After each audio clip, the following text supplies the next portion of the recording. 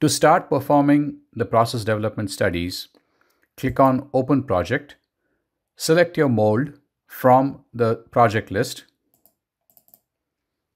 Once you select the mold, you'll see that the mold ID and the project name and all the other details are shown on the right hand side of the screen here. And at the same time, all the icons are now active.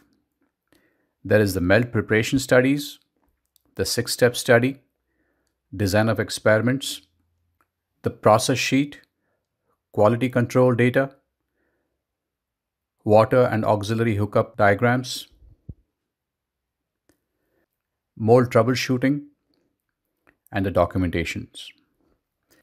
The Manage Sessions section and the Projects Status section give you a summary of the projects and the summary of the sessions for each of these studies. Let's start with the melt preparation studies. In the melt preparation studies, you'll be optimizing the screw recovery speed and the back pressure.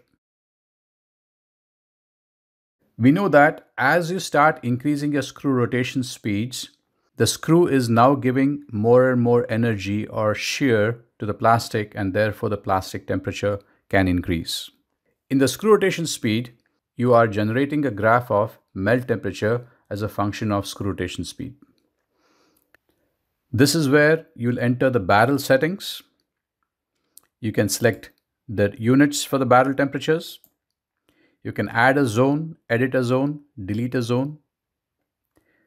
The target melt temperature, in this case it's 440, an acceptable melt temperature difference. The units of screw rotation speed are entered here. And once you perform the study, click on the show graph button and the graph is generated. Based on the graph, you can now select your screw rotation speeds.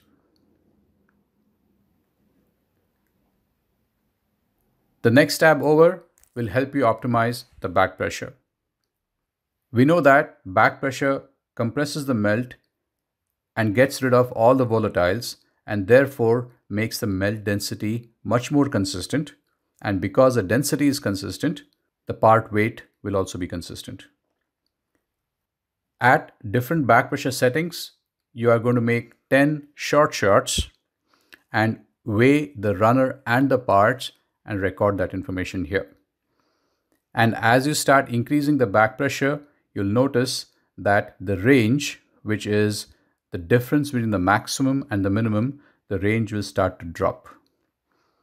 So you'll see in this case, the range is much lower at 300 and 500 psi and at 100 psi the range is much higher so you have a lot of inconsistency in the fill but increasing the back pressure will help you fill the part consistently. In some cases, if you increase the back pressure further, you'll see that the range goes up. This happens because the plastic is now slipping on top of the screw, which is not acceptable and you must start shearing the plastic, which can cause other issues like burning from shear. So from this worksheet, you can select the back pressure value. Again, like all graphs, enter the values here, click on the show graph button and generate the graph.